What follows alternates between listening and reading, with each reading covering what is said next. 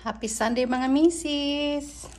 Today is November 14, 2021. So I'm just gonna show you what I got. After church, we went to a Indian farmer's market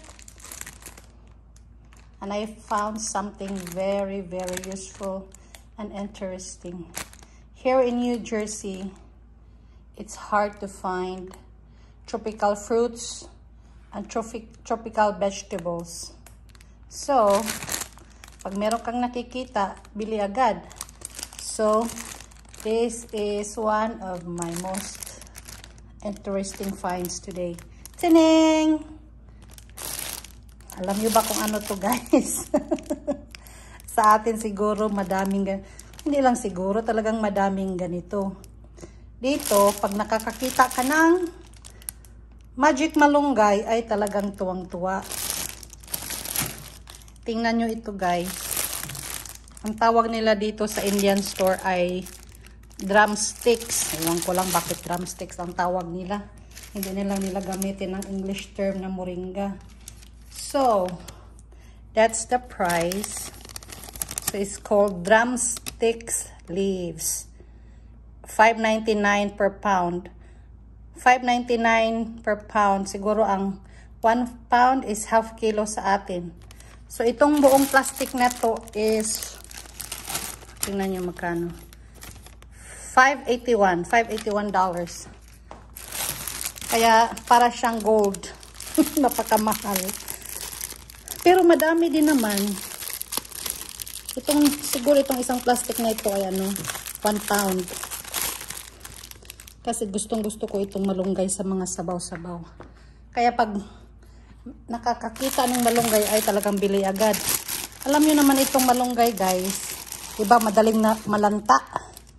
Kaya ang ginagawa ko, nililinis ko na at nilalagay ko sa freezer. Mukha namang presko. May gawa siguro ako ng ano, yung tawag sa amin utan. Mukha namang presko, pero alam na mo naman sa tindahan, siguro nakastay na doon ng mga ilang araw. Pero mukha pa namang maganda, di po ba? Tingnan nyo. Ay, malunggay's life.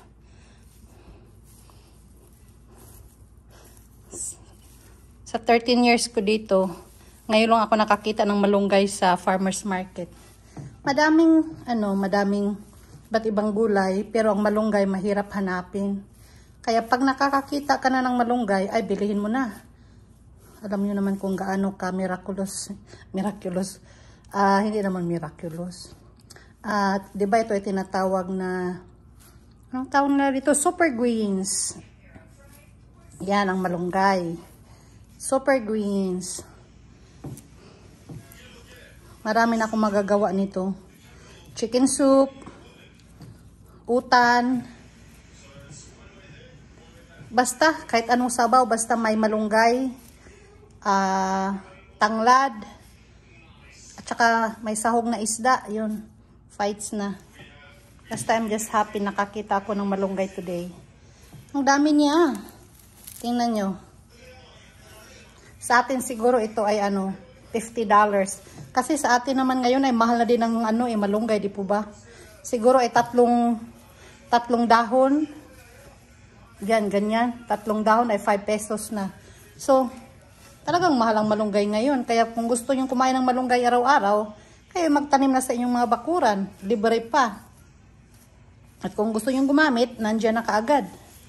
Sinubukan kong magtanim ng malunggay dito. Kaya lang, tumutubo naman yung ano niya, yung buto niya. Kaya lang hindi lumalaki. Kaya hindi ko talaga maano. Hindi ko pwedeng ipilit na tumubo na hindi naman. Kaya pag nakakakita ng malunggay ay bili na. Madami akong buto na padala ng mga kaibigan ko dito. Kasi may mga kapitbahay ako sa amin sa Pilipinas na may mga tanim na malunggay. Kasi yung lugar nila ay yung bang mga sunny areas. Dito kasi sa west coast, ano, malamig. Doon banda sa California or sa kalahating states, sa middle part or sa Florida ay mainit. Kaya ang ano doon, ang mga gulay na nakikita sa atin ay palaging available. Dito, pag may nakikita ka, very seldom lang. Minsan naman ay lantang-lanta na, ayaw mo naman ding bilhin, di po ba? Kaya, malunggay is life. Basta tuwang-tuwa lang ako sa malunggay na ito today. Kaya pinapakita ko. Minsan lang ako nakakakita ng malunggay dito eh. I have my small garden.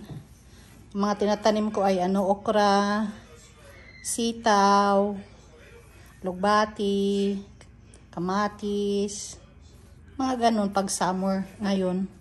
Patay na lahat ng mga tanim sa labas. So, ang gagawin ko nito ay lilinisin ko. Tapos, ilagay ko sa mga ziplock. Ilagay ko sa freezer. Para pag kailangan ko na, ready ko nang iluto. Kahit na naka-frozen, alam mo naman, alam nyo naman pag, pag naka-frozen ang gulay, ibang lasa. Lalo pa nitong malunggay. Kaya lang, no choice. Kasi pag hindi mo ilagay sa freezer, masisira. Di po ba? So, that's it. that's it, malunggay. That's all for today. All about malunggay. Malunggay day. Malunggay is life. Thank you mga missis. If you did not subscribe to my channel, please consider subscribing. Mrs. G Adventures. Have a wonderful Sunday. God bless you all. Bye-bye.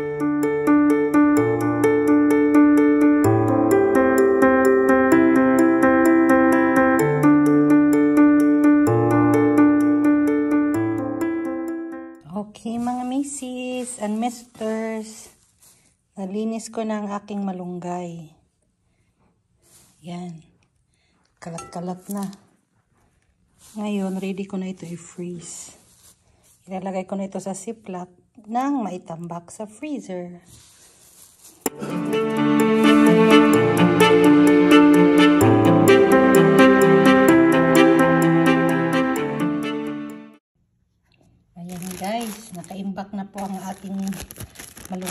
3. Ready na ilagay sa freezer.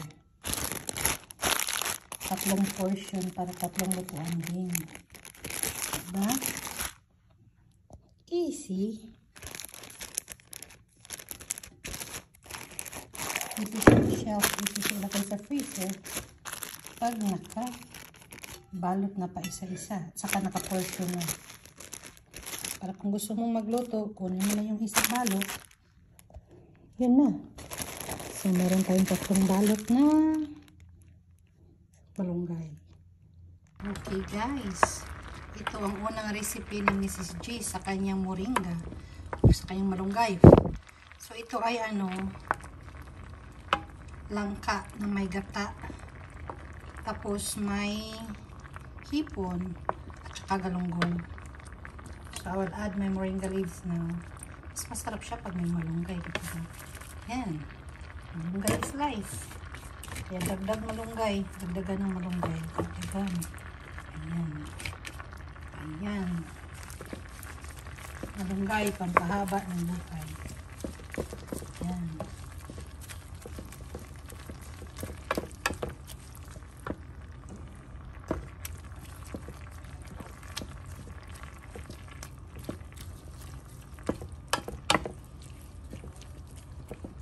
Ginataang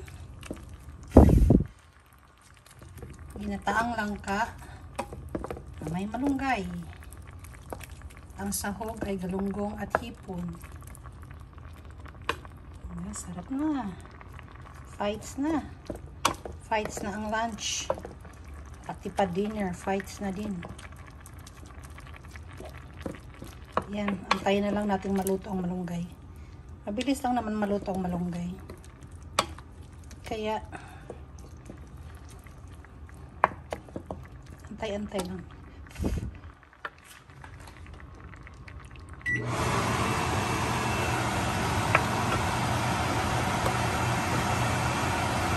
Sarap na nito. I can't wait.